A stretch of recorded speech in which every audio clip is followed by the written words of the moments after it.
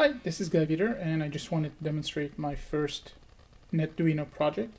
So NetDuino is an Arduino board with the .NET Compact framework in it, and what I have here is the NetDuino Plus, which also contains, as you can see here, uh, an SD card reader and an Ethernet connector.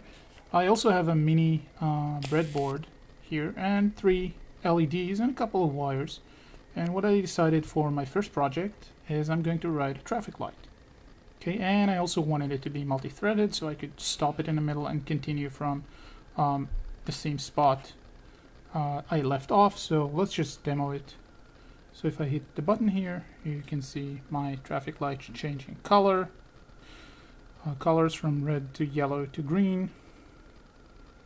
Kind of hard to find, find those full-sized green LEDs for some reason.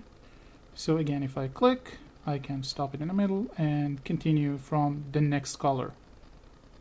Okay, so again, clicking, continue from green, yellow, and again, green, etc.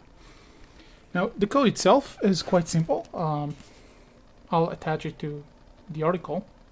Now, no more than 40 lines of code, including the thread management here. Again, I'll attach the code, so no need to uh, strain your eyes to read what's going on here.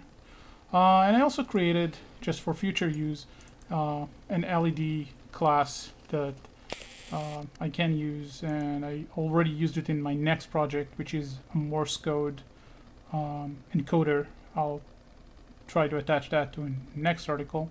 So this, for example, this uh, particular LED can dash and dot and can also parse a string into uh, I mean there's a Morse parser that can parse a string into dashes and dots and just display it. Okay and that's all for my first NetDuino project